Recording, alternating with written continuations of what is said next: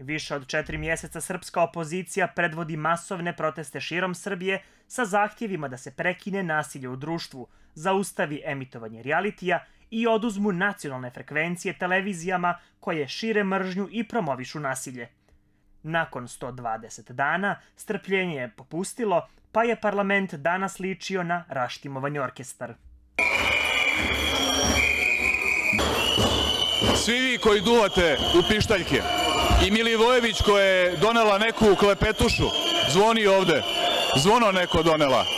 Nažalost, moramo konstatovati i da pored svega ovog što smo preduzeli, nasilje nije utihnulo, nije se čak ni smanjilo, ono je prisutno od verbalnog nasilja preko institucionalnog nasilja, medijskog nasilja. Zato smatramo da je ovo način kako treba izaći iz političke i društvene krize i u tome tražimo podršku građana. Nema izvestilaca odbora. Uprkos skandiranju, vlast je ostala u Skupštini i radila kao da se ništa u sali ne dešava. Nas nećete pobediti, pobediti zato što se vi borite za sebe, a mi se borimo za Srbiju. Živela Srbija!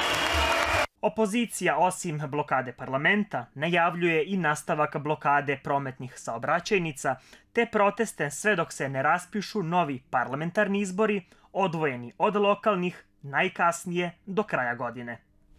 U svakom trenutku vlast može da se opredeli za drugačiji put, može da ponudi drugačiji izlazak iz krize, a to je ispunjavanje zahteva protesta. A koliko su oni opravdani govori činjenica da su Srbija protiv nasilja protesti najmasovnija okupljanja koja su Srbiji održana nakon 5. oktobra. Predsjednik parlamenta Orlić sa oduševljenjem je prihvatio ideju o izborima, sjednicu je ekspresno prekinuo već u 13 časova.